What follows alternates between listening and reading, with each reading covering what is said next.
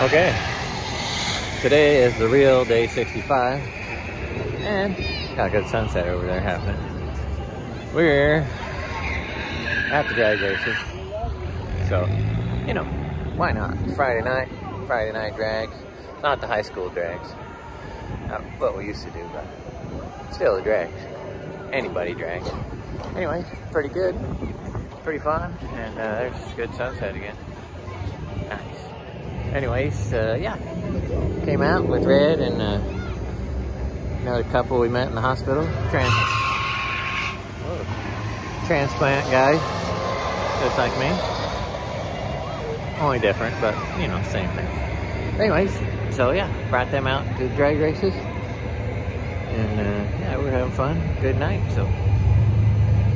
Uh, it's a good day today. Feeling good all day. And let's see.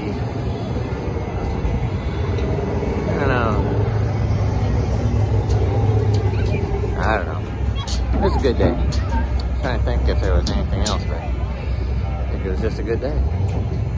Oh, I made some rice today. And it was really good. anyway, so uh, on stovetop too, not the rice cooker. That's for rookies. Stovetop, that's old school where it's at. So just saying. No, I'm not hating on it, just saying.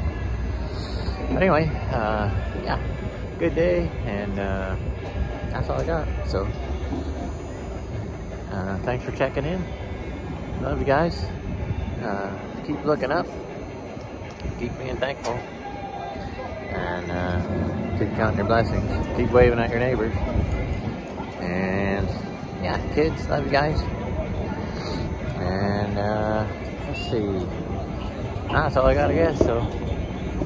Uh, love you guys. And uh, yeah, later on.